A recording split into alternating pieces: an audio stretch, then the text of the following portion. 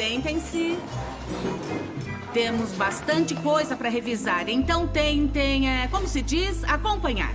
Mas primeiro, temos um novo aluno conosco hoje. É, pode nos contar um pouco sobre você? Ahn, Brody. Oi, o meu nome é Brody. Ótimo! Agora, vamos começar com o nosso quiz. Ah, primeira pergunta. Se o Mark tem 6,50 e dá 1 dólar e 20 para Liz e 25 centavos para dois amigos, quanto sobra para ele? Calcular. 4,8. 4 dólares e 80 centavos. Correto? Um ponto para o time verde. Pergunta idiota. Ninguém dá dinheiro pros amigos. Brody, você não pode usar o Datacom. Ah, por que não? Por que não? Segunda pergunta. Se eu corro por 20 minutos, caminho por 10 minutos e pulo por 3, quanto tempo eu me exercitei? 33 minutos terrestres.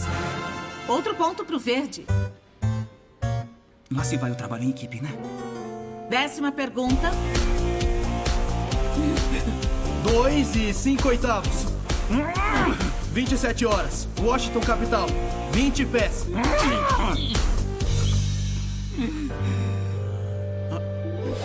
12,3 milhas. Peraí!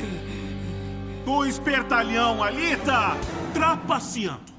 Senhorita Fint, eu vi o aluno novo usando aquela coisa no pulso dele. Isso é verdade, Brody? O que é essa uh, coisa doida que você tem aí? É o meu Datacom. Ele me dá as respostas pra tudo. Ouviu isso? Respostas pra tudo. Bom, eu não sei como era na sua última escola, mas aqui isso é contra as regras. Não quero ver isso de novo, ok? Mas. Ah, Tá. respostas pra tudo. Nunca ouvi um absurdo desses.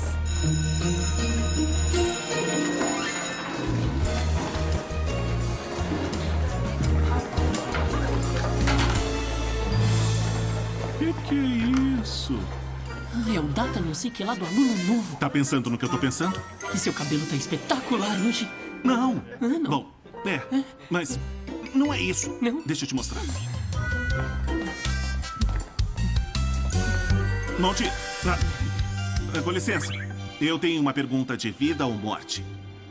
Como eu me torno mais popular que os Power Rangers? Você deve derrotar um monstro em batalha.